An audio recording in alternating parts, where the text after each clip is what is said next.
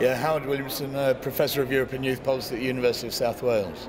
Well, the declaration covers a whole range of things that are, have emerged from this event um, around the common things that youth workers can sign up to as kind of a um, shared territory, really, because often we talk about what divides us rather than what unites us.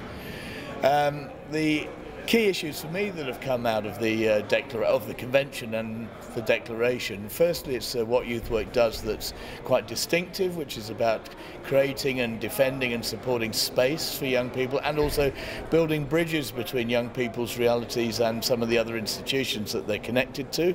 So that's what that's one bit of the territory of the declaration that I think is particularly important.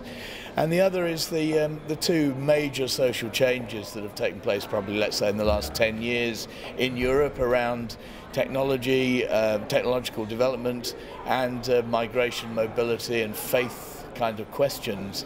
Both of those require youth work to really rethink uh, what it wants to do, how it goes about doing it, um, how it makes those connections with young people and represents their interests and supports them representing their own interests in uh, the modern Europe.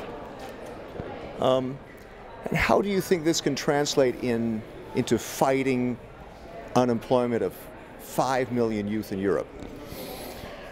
Well, none of this can create jobs. I mean, that's the, the, first thing. You know, job creation comes from elsewhere, uh, whatever people may talk uh, in terms of entrepreneurship and enterprise. But um, it's, it, there's quite a lot of research evidence that youth work can help young people to think differently about labour market futures, about uh, uh renewing uh, vocational or academic qualifications. So. Um, I get worried when politicians think youth work is some kind of solution or panacea for youth unemployment. That's certainly not the case, but it can certainly also give young people a sense of positivity in pretty tough times.